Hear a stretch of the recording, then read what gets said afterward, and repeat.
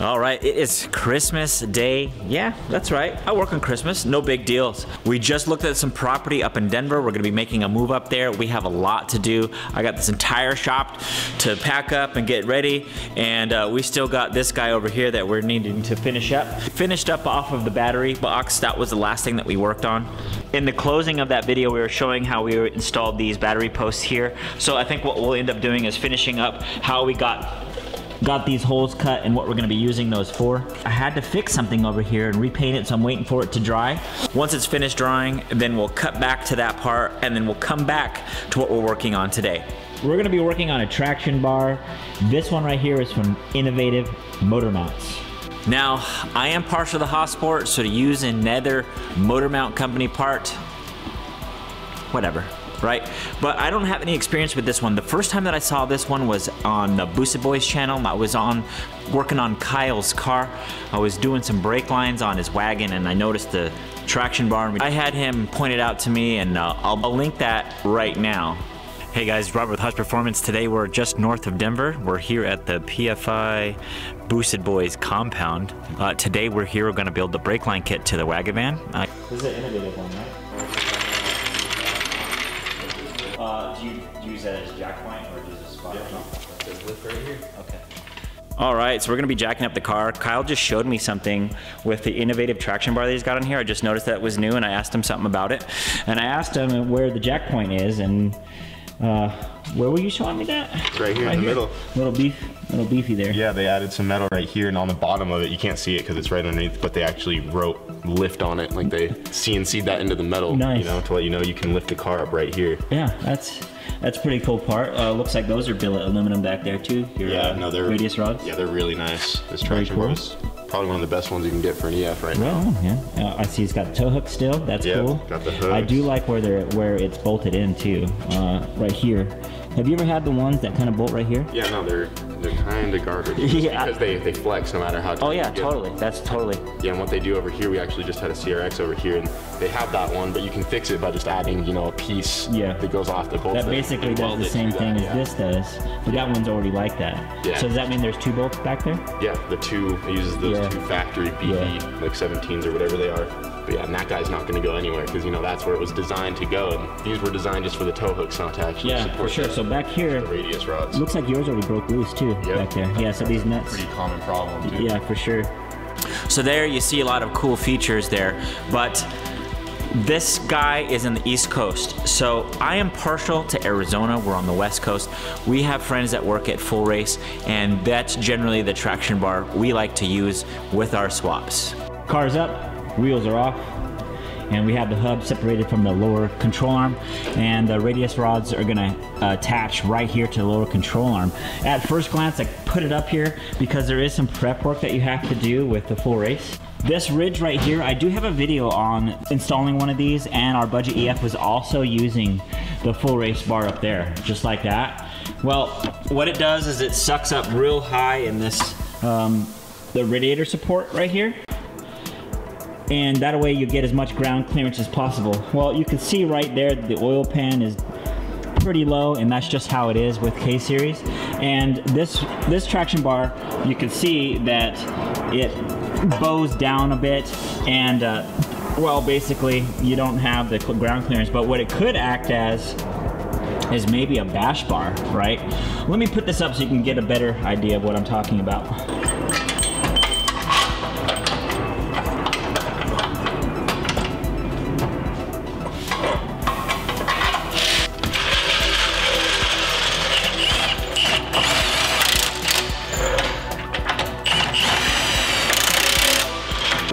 Saw that, but that was quite literally the easiest one I've ever installed. And I like it because it actually lets you use the factory radiator supports. So if you have this on a B series or something like that, that's fantastic. You have to cut all this stuff off using the full race. But remember, the full race gave you ground clearance and you can see how far this goes below. So that's gonna be a judgment call on you, what you wanna do. But like I was telling you about a bash bar, look what's now exposed. All right, so if you saw some debris on the road, it's gonna hit this first before your aluminum oil pan. The factory subframe bolts are gonna be used to bolt it up, uh, you know, against the frame rail over here. And uh, then it does come with its own hardware uh, for the radius rod, so let's move on to that.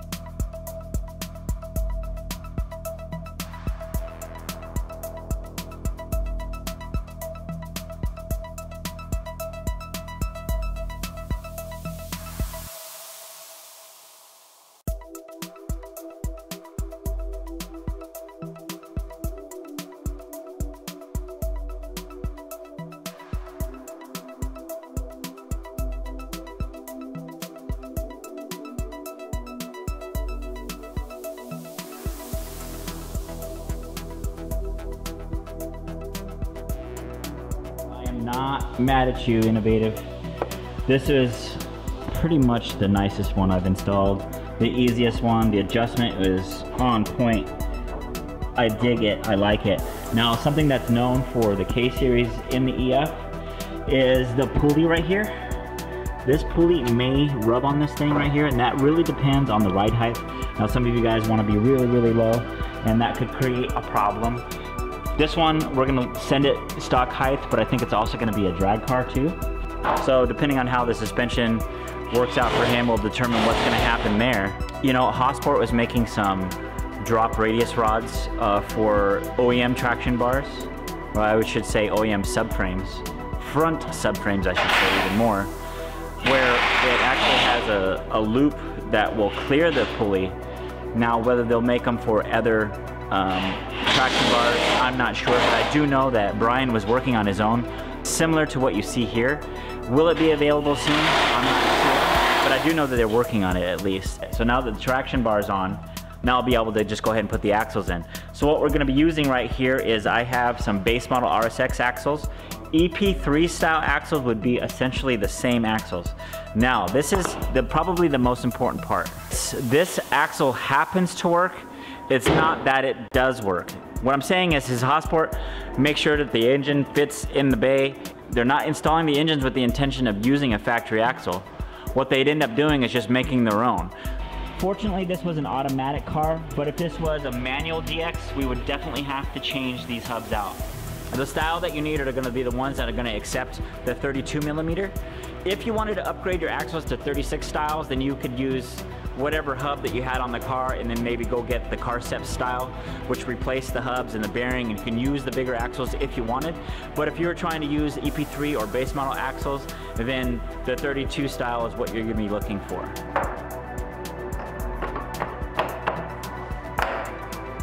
Another thing you're gonna need to know if you're a novice EFer is this dust shield right back here. You're gonna have to pop that out, otherwise it's gonna bind on your axle. You're gonna try to move and you'll think the brake's all locked up and stuff, but it's really the axle binding up on this extra dust shield.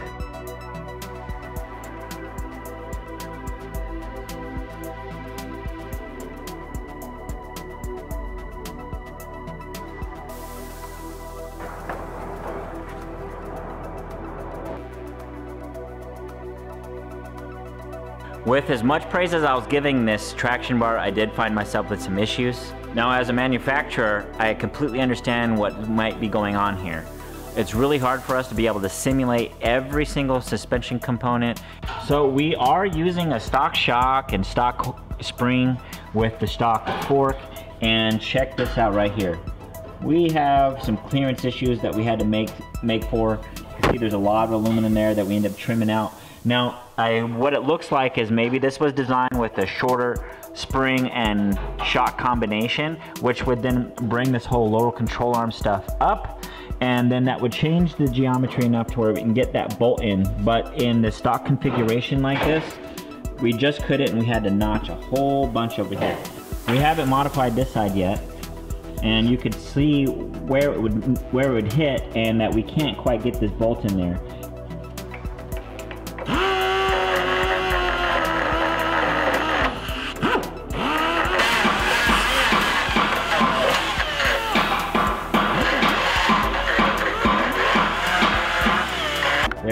See all the clearance, so you could understand with shorter shocks and struts how much clearance we would have there. We probably wouldn't have to notch it at all. So uh, I don't think it's anything innovative has done wrong. Although it might not be a bad idea to just let them know that they could just design a notch in there already so you wouldn't have to. Well, since the car's in the air, then I think this is a good time to go ahead and install the header. We do have a lot of stuff going on back here, but our customer does want to keep heat. And you can see that it's pointing the wrong direction. Heat on this car is right over there. So how are we going to get those over there? Well, we'll get to that uh, in time. But what I'll do right now is just unbolt it here and maybe even pull the hoses off of the wall so that we can get our header in there. Here's our header of choice on this one. This is K-Tuned's I would say a budget. I'm not sure if that's what it's marked, it's listed as, but this is definitely their least expensive one that they have there. It's a swap header. It's gonna get the job done. It's getting exhaust from one place to another, and hopefully the profile is gonna work for our combination here. Hopefully it's tall enough to where we have plenty of exhaust clearance. This customer expressed to me that he'd eventually turbo this car, so I don't think we have to spend a whole lot of money on an exhaust manifold when we just literally need to get it out of the bay and out of the car. And the car is gonna fly anyway. If it's an A2 all-wheel drive CRX, I'm sure it's gonna scoot with whatever header's on there. In Budget EF, we were able to get the header in here without uh, taking the engine out and with it installed. Now, I'm already starting to look here that maybe I made a mistake with those axles. Look at how tight that is. And I wanted to keep it as stock as possible, which is why I have the heat shield on there too, but it looks like yeah, we might have some header clearance issues here. We're about to find out.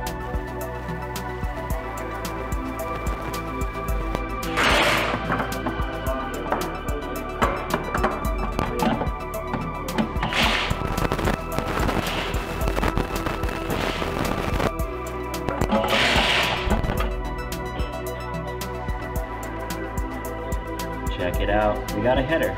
Except we don't have a header with a transfer case. Check it out. Yep, it just wouldn't fit. We had to, I was able to get the header in this space which you saw, which I was actually pretty surprised that it even fit in here with the transfer case installed, but it just wouldn't bolt to the flange here at all. So we removed the transfer case just to see what modifications we're gonna have to do. And I don't know how much of this header is gonna be left. You know, I was explaining to you that this car is eventually gonna be turboed and how much do we want to invest in a header. Uh, I don't. But for the sake of this video and many of you guys out there that are gonna be just a motor car and want the exhaust in the exhaust tunnel, maybe we could figure something out for you guys. Maybe it could be available in time. I don't know that it would be by the time you see this video. Maybe by the end of the video series, it's possible. Um, you know, that's just an avenue we're gonna explore. We do have some fabrication guys next door on both sides here of this plaza that we might be able to talk to and see what they can do for us. Welcome back. It's been a few days since I worked on the car the last, and right after I installed the header, I went on the Facebook forum. It's called All-Wheel Drive Performance Hondas, I believe. I'm sorry, I got it wrong. It's Performance All-Wheel Drive Hondas right there on Facebook. You can join. Now on desktop, you do have the ability to search the group.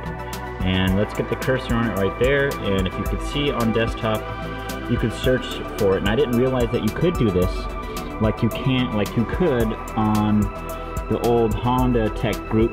You'd search the thread and whichever thread you're looking for to get some answers. Well, I was able to search this looking for an answer to my question. Is there an all-wheel drive header out there? What are guys using? And by clicking on that, I was able to get a list of stuff. There wasn't a lot, to be honest, but that doesn't mean that there isn't in somebody out there already that is doing it or they're posting in other forums. But this one right here is dedicated all-wheel drive, and so if I if I had to say anything about it, I think you guys should also join. Um, so I posted my thing about the header, and a bunch of questions, a bunch of answers came up that no one really has one yet. Uh, and then I even went on my Instagram page, and if you're not following it, it's at Hush Performance.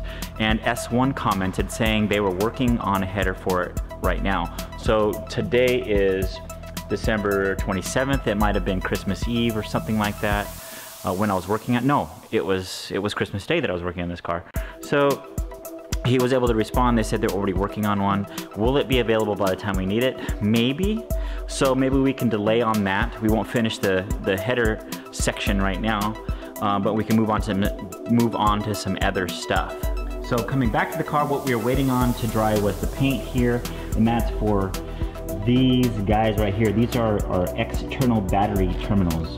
So you pop this off right here, and uh, that's how you'll be able to access your battery once the bumper is on. And with it on, uh, it may be difficult to get to, say if you're had a factory bumper and factory fenders here, getting to these leads here could be difficult. So what we would do here is basically extend the leads here. We'd end up having to, we'd have a ground going somewhere and then, then another lead to this ground post here. Then we'd have this going to the alternator and then another one coming here so that our jumper box or battery cables could get there. I was gonna finish up with the battery in this video, but then I thought that maybe I should just wait because that's also part of the rest of the chassis harness because we do have to run a lead to our fuse box, which we are gonna keep in the bay. And I think that's something that we wanna try to keep together. I will close out this video not considering that one, but I will point out something else to you. So any of you that were watching me this whole time and have installed one of these before, you might have realized that I was actually installing it upside down. Yeah, well, you know, as a manufacturer, we like our logos up and usually where the engraving is, that means that's the part that's facing outwards, but not so much in this case. Now, it wasn't until I got underneath the car that I noticed there is trench, there is chamfering underneath, right there, almost where our shock fork is, but it actually wouldn't clear anyway. Again, I went on the, the CRX community forum on Facebook also, and posted a bunch of pictures there and guys were commenting, say, hey, you know, you have it upside down. I did notice that once I got underneath the car because I saw the chamfering. And then they were saying that the chamfering didn't even clear either. Uh, and that's in a stock spring and stock shock configuration. So here, let's look at it one more time. It's difficult to see at this angle, and I'm not sure that I can get it any better than this, but there is all the clearance in the world here. So I could stick my finger in between there and you couldn't even do that if you wanted to with the spring completely uh, unsprung. So is it possible that maybe you can take the factory, the factory radius arm off and then bolt this new one on with it on the ground? That way it compresses all this together. Would you have enough space to get that bolt, those two bolts there, completely off? it's hard to say.